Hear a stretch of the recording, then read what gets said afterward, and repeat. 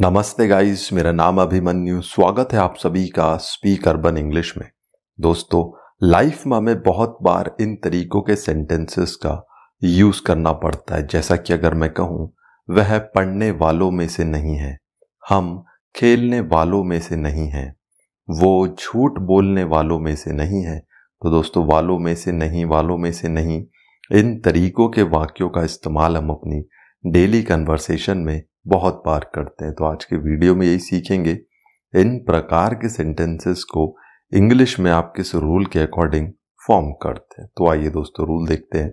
सबसे पहले आता है आपका सब्जेक्ट उसके बाद हेल्पिंग वर्ब इज़ एम या आर उसके बाद not one of those who उसके बाद वर्ब की फ़र्स्ट फॉर्म और लास्ट में ऑब्जेक्ट एग्ज़ाम्पल से बेहतर समझिएगा। देखिए, पहला है आपका हम लड़ने वालों में से नहीं हैं। हम लड़ने वालों में से नहीं हैं।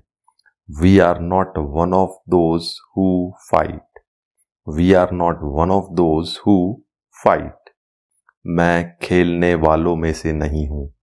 मैं खेलने वालों में से नहीं हूँ। I am not one of those who play I am not one of those who play मैं झूठ बोलने वालों में से नहीं हूँ। मैं झूठ बोलने वालों में से नहीं हूँ।